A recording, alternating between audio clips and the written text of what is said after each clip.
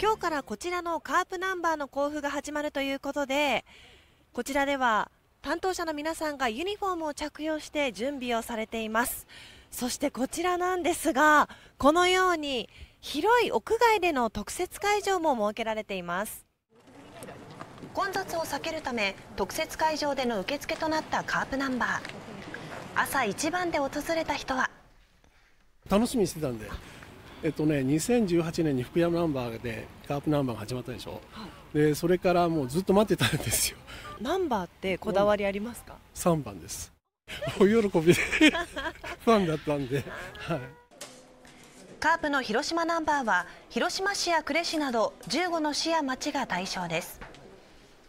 ご当地ナンバープレートとして新たに導入される全国10カ所のうちこれまでに最も多い2255件の申し込みがありました。レジェンド衣笠選手の背番号3を手に入れた先ほどの男性は。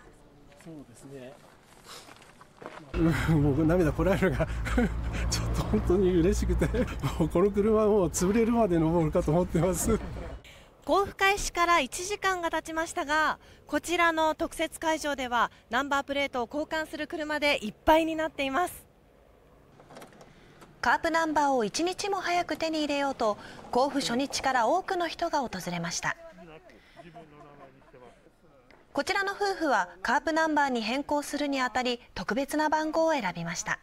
今日はこう無事にナンバープレート手に入れていかがですか？ああやっと念願かなったナンバープレートですのでね。喜んでますよ。記念の日日だから。何のナンバーなんですか？結局記念日そうなんで。すか、えー、3月28日ですね、えー、安全運転でこれからも一生懸命カープ応援します。この日をですね楽しみにしてたという声をたくさん聞くのであの担当者としても非常に嬉しく思っております県内カープナンバーで溢れるかと思いますのでそれを見ていいなと思う人がですねどんどんどんどんつけていただければというふうに思っております広島運輸支局ではご当地ナンバープレートとして全国一の規模となる4万枚の交付を目指しているということです。